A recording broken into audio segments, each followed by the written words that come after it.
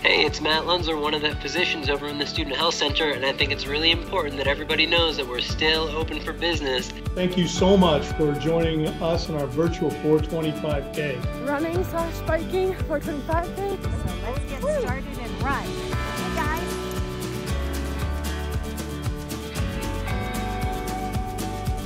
Hi UVM, I'm Elise Morgenstein first. Hey people, my name is Tyler Doggett. I am quarantined at home and watching the news and trying not to watch the news every minute. It's pretty quiet around here, but we're really looking forward to having the students and faculty come back.